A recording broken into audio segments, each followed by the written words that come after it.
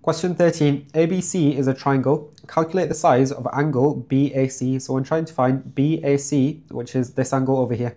Give your answer correct to one decimal place. The first thing that I can see here is I've got opposite pairs of information. I've got this side and I've got this angle and I've got this side, but I don't have this angle. So that means I could use my sine rule. Because I'm trying to find this angle, I'm going to put my angles on the top. So sine of A over A is equal to sine of B over B.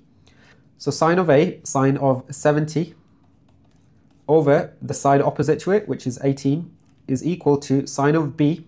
This is the sine of B. We're trying to find that one. So sine X over the side opposite to it, which is 15. We just need to rearrange this.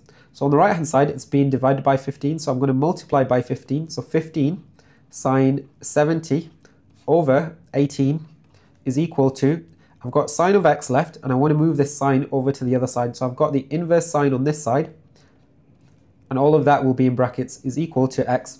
Just need to type all of this in and I get my value for my angle. So the inverse sine and then I need my fraction button 15 sine 70 over 18 that's 51.543 so x is 51.5432 I want to find out this angle so I need to use my angles in a triangle fact. All of these will add up to 180. So I just need to do 180, take away 70, take away my previous answer. That will give me the angle that I'm trying to find. So 180 minus 70 minus my previous answer, which is 58.4568.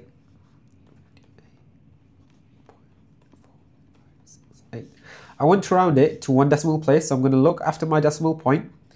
This 5 is my decider, and that's telling me that I need to round up to 58.5. It's an angle, so it's going to be in degrees, and that's to one decimal place.